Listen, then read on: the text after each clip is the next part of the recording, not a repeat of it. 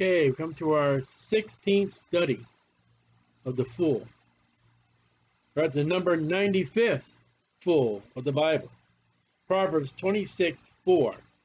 And then number num number 96, Proverbs 26, 5.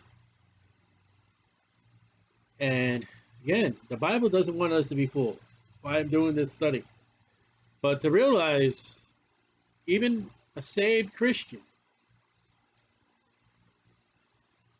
we played a fool. And it's a shame, it's a sin. Proverbs 26, 4 and 5. Answer not a fool according to his folly, least thou, least thou, the person who's reading this, also be like unto him. So you don't answer a fool with foolishness, for you will act like the fool. And you can't be stupid and foolish when dealing with a foolish man. And then when we look at the next one, answer a fool according to his folly. Least he, that's the fool, be wise in his own conceit.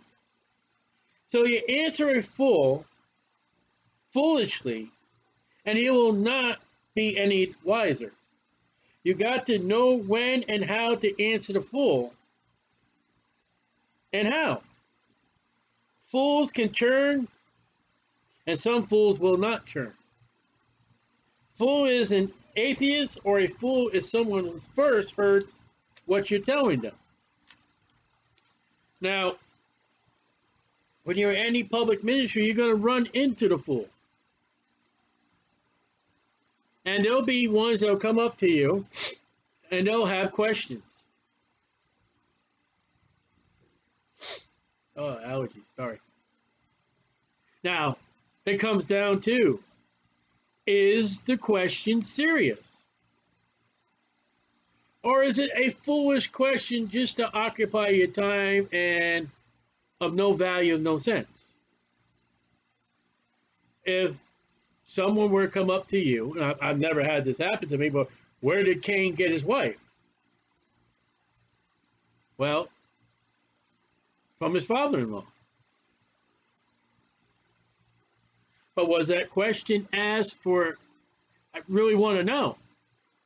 Or was that question asked because, you know, I just want to waste your time, preoccupy you in something else? And when dealing with who we think to be a fool, is it really foolish? Or is it really a sound person who wants to know? Remember, a fool, as I said, he can be an atheist, or he can be a fool that, you know, if you talk with him and deal with him wisely and correctly, he may get knowledge, he may get understanding, and he may get wisdom where he would too turn to God as his Savior, or will listen but we looked at fools that you spend time with them, you spend money with them, but they don't want to learn. And if you were to answer the fool foolishly, it could do more harm than good. I guess this would be in the realm of sarcasm, which I do do. And it may be wrong. And I can't give you exact illustration because when in a public ministry, there's just so many that I have never had, and there are some that I have had that others did not, and there's some that's happened to me that's happened to other soul winners and dealing with people. And you got to pray to God for knowledge, wisdom, and understanding on how to answer the person you are, because God knows their heart. We don't. So, answer not a fool according to his fault, at least thou also be like unto him. So, if you answer a fool foolishly, you're looking foolish on people who are watching and listening. Answer a fool according to his folly, at least he be wise in his own conceit. You got to give the proper answers. And that's really all I can say. Verse 6, we keep going. He that sendeth a message by the hand of a fool cutteth off the feet, and drinketh damage. And back in the times in the Bible, a message, the early times of, of America with the Pony Express and the Postal Service, and in wartime, the king would send a messenger to the troops, and the, the captain of troops would send a messenger back. And according to the Bible, there were some men that were good, they were bearers of good tidings, and there were some men that they were the bearer of bad tidings. But that's not the case here. If you're to send any message anytime, doesn't say war, and you put it in the hands of the fool, he that sends a message by the hand of the fool cutteth off the feet. Whose feet? And drinketh damage. That fool may lose the message, and it's important enough to send the message out.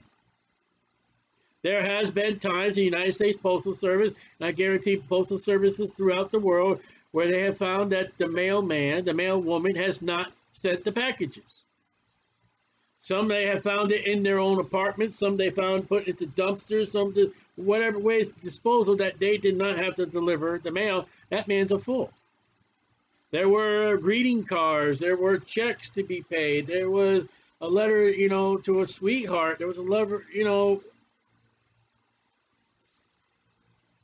and put it into the hands of a fool, it never got delivered, it never served its purpose. So,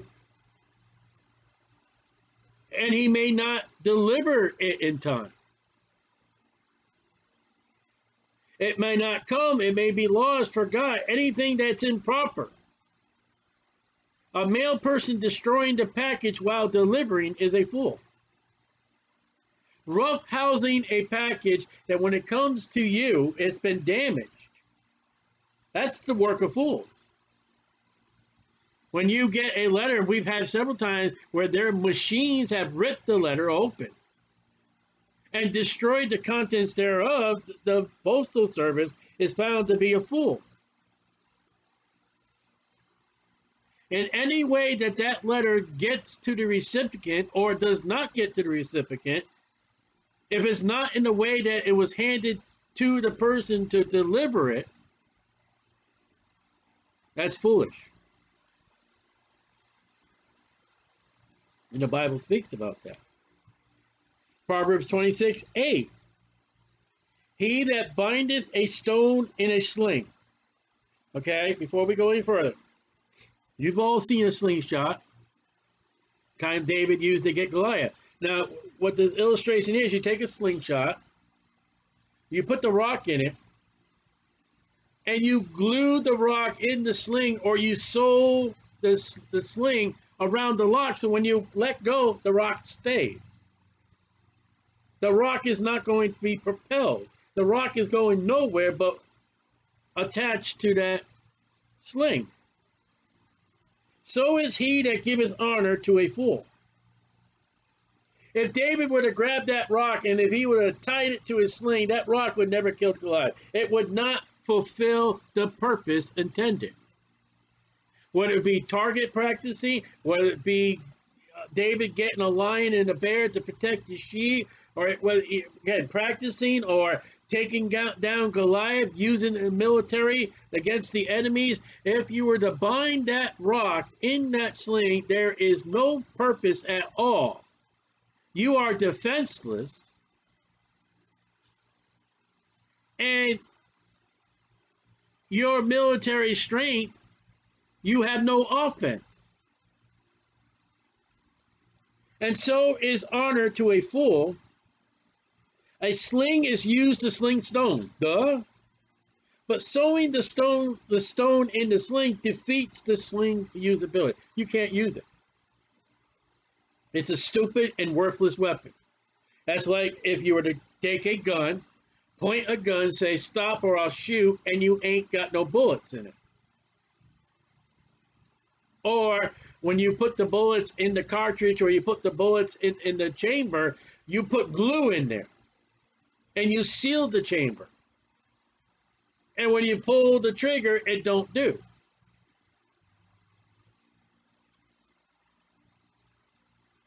Again, imagine David super gluing his rock to his sling against the giant. So the honor to the fools is, which America does, America honors fools. They name streets after fools. They name buildings after fools. They build monuments and statues in fools. They give in plates and plates and bronze and all kinds of things to fools in public parks, in schools, in ceremonies. And with that illustration there, it's useless.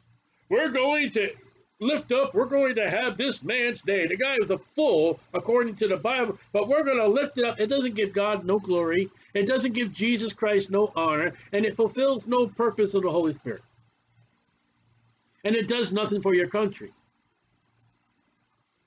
We are in a nation right now, we're taking down Civil War monuments and Civil War men that fought great battles. But we have lifted up men who do drugs. We have lifted up people who have fornicated and adulterized. We have lifted up men who have not been faithful to their wives. We have lifted up men and women who, who no value to the education system. Yeah, and that's no value. It has nothing to do with nothing. America's going that way. Verse 9 As a thorn goeth up into the hand of a drunkard. I've been drunkard. I've had injuries while being drunk, and you don't feel it. And I used to tow uh, automobiles my younger years, worked for a towing company, and I pull up to the scene, it'd be a big wreck, and there's a drunk guy DUI. And go, he's laughing all that. And be like, well, where's the occupants of the car? They went to the hospital. In many cases, I've seen where drunkards got injured and they don't feel it that night, that day. They'll feel it the next day. So as a drunken man in his, drunkenness of the alcohol affecting his body, he, he's gotten a thorn in his hand. That hurts. Without the alcohol. I mean, if I go pick a rose and I get that thorn, ow, I'm going to feel it right away. But with a drunkard, he's not going to feel it right away. So is a parable in the mouth of fools. Sore can get affected, uh, infected, excuse me. A drunkard doesn't feel the pain at first, but later. Listen to a fool and his story, the damage he has done may not be known to later. And I have watched Christian documentaries through life and Christian movies and did not know that they were wrong and they affected my mind later. And what this verse is telling us, I may be inebriated, forgive me if I said the word wrong, in my Christian walk and I allow something to come into me that I don't feel. It may be wrong, it may be hurtful, it may be harmful later on. And I'll tell you what, one of the things was I used to watch documentaries on whales, according to the story of Jonah, how men would survive being eaten by a whale, by being digested by a whale in the cavity of the nose of the whale, the nasal cavity. And come to find out, when you read and study the Bible, Jonah did not survive the whale. He died and went to hell. So when I watched those documentaries, I said, ooh, ah, I realized that every time I read that story, those stupid documentaries come into my head, I go, no, no, no, that's wrong. And that injury that that drunk can get in his hand or in his body anywhere, it might produce an infection that's going to affect him later if he had not taken care of it right away. And Christians get involved with all these tribulation movies, and I'm going to beat the beast movies, and they don't realize that the Christian is not going through the tribulation period. The tribulation period is not for the Gentiles, and man is not going to conquer the beast. The Bible says, unless you receive that mark in your head, forehead or in your hand, you're not going to shop, no matter what you can do to the system. And then people get perverted and they, you know, what's wrong with the modern Bible? What's wrong with the modern church today? The nonsense that they put in you that later on, as you grow as a Christian, has affected you and infected you. And sometimes those scars don't come out. I have been studying the Bible and I have read the Bible and I don't just read the Bible, I study the Bible, I mark the Bible, and there are things I've done from my early years of Christianity, growing up in the Lord, that still affect me today. There's still an infection that's in me when I know what the Bible says and I know what the Bible's right on that subject and what I had put myself to in an inebriated state as a young Christian. Oh, that oh, that sore comes back. It's like when you got body aches and pains. Oh, I can tell the weather's the weather's going to change. It's going to rain. It's going to snow. When I come to a particular part in the Bible, oh, that oldness comes back.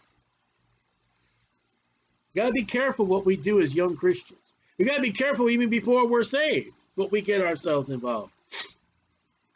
You know? I mean, I grew up in the Catholic Church, and still, every once in a while, that crucifixion comes in the picture of my head. It's been bl blended there for all the years I didn't know. So, be careful what you watch. Be careful what you hear. Be careful what you take. Be careful what you touch. Be careful where you go. Eye, ears, nose, throat, mouth, hands, feet. Because it may hurt you later may hurt you later. Proverbs 26, 10. Ooh. The great God that formed all things. So there's the creator, a creation, not evolution. We're not talking about evolution, but the great God that formed all things both rewardeth the fool and rewardeth the transgressor. Well, look at that. There's coming a day for Christians at the judgment seat of Christ. Your foolishness, if it's not put under the blood, will be wood, hay, or stubble. You will give an account of what we've studied so far and what we will study, Lord willing. How much you've gotten, how much have you gone back to get what is already been done, how much you look forward to what will be done, Lord willing. I'm not going to listen to this no more. You could have. I mean, it ought to get you one video, ought to get you to watch all the videos. And pray, say, Lord God, Lord willing, help him to finish these studies so I don't be the fool. But our foolishness as Christians will be judged at the judgment seat of Christ. And there will be no reward. And those that are lost unsaved. Their foolishness will be judged at the great white throne. And if there are no rewards for the Christian for foolishness, there will be no rewards for the lost. Foolishness is vain, it's void, it's null. It doesn't produce nothing but foolishness. ain't going where. The fool is fitted with transgressors. A fool is a sinner. Foolishness is sin. They will be rewarded, not with good rewards, not with pleasing rewards. Proverbs 26, 11. As a dog returns to his vomit, and I've seen that with my dogs. Dog throws up, turns around, goes back and eats it. That's disgusting. Think about a human doing that. Did you know give you a little extra information here. Did you know as far as the Roman Catholic wafer that they say is the actual body of Jesus Christ? That actual wafer. And you can find this in the catechism. You can do a Google search. If you throw up that wafer, you take what they say is Christ, it's not, it's the Antichrist. You take it into your mouth, you throw that up. You are to pick it up, you are to dry it out, and you're to take it later. That's disgusting. That's a dog returning to his vomit. In the name of anti-Christianity. As a dog returneth to his vomit, so a fool returneth to his folly. Makes a complete circle. Makes a U-turn. He starts where he started. He ends where he started. And when we go back to what we said, answer not a fool according to his folly, at least thou also be like unto him. Answer a fool according to his folly, least he be wise and conceit. There is hope for the fool, but there's also really no hope for the fool. A fool that has said in his heart that there is no God, uh, you can go through 66 books. I don't know how many verses there are in the King James Bible, but you can you can do every single verse of the King James Bible from Genesis to Revelation. Most likely that fool is going to go back that there's no God. That's sorry. We are to train the fool in the ways of God, but as the public school system we talked about a couple lessons ago, you're just wasting money. Their heart is not in it. And they come up to you and question you with questions, and they're truly foolish. They're just trying to waste your time. They're trying to provoke you to something else. Satan is using them to prevent the gospel from actually being preached. When you are dealing with a true fool, because if he come up to your public ministry and he spends all day with the foolish questions, if you allow it, you're not to allow it. At the end of the conversation, he's going to still be the fool. And we looked at that before uh, about the contentions of a fool. Whether right or wrong, you both end up foolish.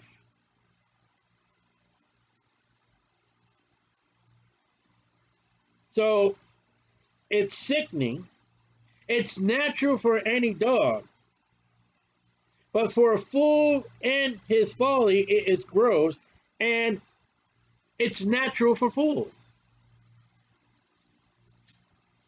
As a dog is natural to eat his vomit, a fool is natural to eat his foolishness. And to others who see it, that's disgusting. Now, if you've been a dog owner, you like, uh, yeah, he's going to do it. And there's times you hope, oh, uh, I'm glad no one came over. Or, you know, when you've had guests or people over, you see the dog is about, it's like, oh, no, don't do it. and they do it. Can you imagine the, the, the man that has a foolish son? Oh, no, no, don't, no, don't, oh, oh, he did it. And there's no joy to the father, no joy to the mother when that kid, that child, that grandchild, just goes right back to his foolishness. It, it, it's a shame. Proverbs 26, 12. Seest thou a man wise in his own cassette? Conceit? Excuse me. Wow. Look how good I am. Look at my church our church, my church, is the right one. What I believe is what I believe. You're not going to change me. This is what I've been taught. This is what I think. This is how I feel. You're not going to change me. Okay? Seest thou a man wise his own conceit? There is more hope of a fool than of him. Now, now there's a good fool. A fool is better than a man of pride and self love. A fool is better than a man that has self righteousness. You got a man that's stuck on himself, uh, you are not going too far with salvation of the Lord. A fool has better chances of being saved than pride. A fool has better chances of being right with God than self-righteousness. You can deal with a fool, but you can't deal with religion or a religious man. There are people who come to my door to call Jehovah Witnesses. I've been every way around with them. I have been with scriptures with them, and they even open up their little phone to King James Bible passages. I dealt with one guy. I said, listen, tell me. Did Jesus ever commit any sin? He said, no. I said, wait a minute. I said, hold on. Are you telling me, this is how the conversation went, Jesus was sinless? Yes. I said, are you telling me that your Jehovah Witness and you, you are both agreed on the fact that Jesus was sinless? I said, yeah. I, I just, I, well, I, I wanted to nail the guy. That I said again, listen, I just want to make sure. I want to be positive that the statement that Jesus Christ is sinless is absolutely correct by you and by. Uh, it's not a church, uh, the, uh, assembly hall, whatever they say. He goes, yeah. I said, then Jesus Christ has to be God.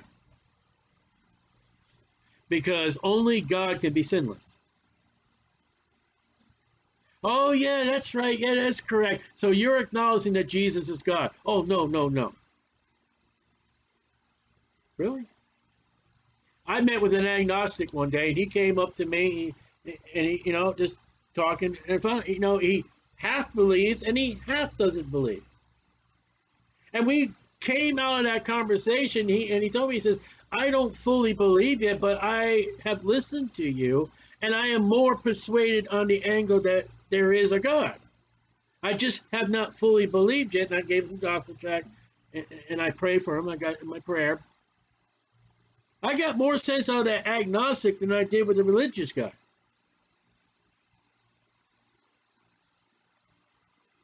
That man is so high in his religion, whatever religion it is, and, they're just as worse as Catholic, because nothing can get over the barrier of the Catholic Church over God the Father and Jesus Christ. And to them Mary. But I had better chances with somebody. Well, I'm foolish, I don't understand, but I'm willing to learn. I dealt with a guy one other time. He he came up to me and said, Well, you know, I'm an atheist. The guy was foolish because he didn't even know what atheism is. And when we finished that conversation for a while and talking to him and showing the scriptures, I said, sir, I said, I said, when somebody asks you now, you know, you're saved as such as this conversation began, I said, don't tell them you're atheist. He goes, why? I said, tell them you're an agnostic. Well, what's an agnostic? I said, you half believe in God and you half don't believe in God. Oh yeah, I guess I do. But when you deal with a religion, staying firm right where I am. I am rooted and grounded in my religion. I am rooted and grounded in my education. I am rooted and grounded in evolution. I am rooted and grounded. Wow. I guess you're right. Yeah, I, I mean, not fully, but yeah, I heard what you said. And where's the difference? A man that's self-righteous, a man that's self-proclaimed, or the man to say, ooh, that sounds, yeah. I don't know what happened to those two men. So here's a good fool, and I think there's only two or three of them in the Bible. A man that is always right in his eyes and judgment, though wrong. A fool has better hope. I dealt with another guy, religious guy. He never sinned. And told me because I acknowledge I sin, in 1 John 1 9, if I confess my sins, that God is able to forgive, forgive me and to cleanse me of all unrighteousness. Though I admitted that I was a sinner, I was going to hell, and he wasn't going to hell because he was completely sinless. That guy was on himself, high on himself. Look how great I am. But he couldn't see God and how great God is. To his destruction. Now that one man compared to the two men that I talked to, one said he was an atheist, and one says, I, you know, I'm an agnostic, and they leaned more to God. There are more hopes of them. And the man that walks away, look how great I am, he's the fool. The other two men, they come out a little bit of foolishness. I don't know what happened there, but they came out with a little wisdom. They listened. A fool can be shown and see that he is a sinner. But the self-righteous man, oh, how great he is. So let's see, should we just stay in Proverbs 26 and move to 27? Uh, where we at? We're at 30 minutes. All right, let's let's do Proverbs 26. We leave it at that. Okay. I think it's a good place to stop right there. Proverbs 26 4.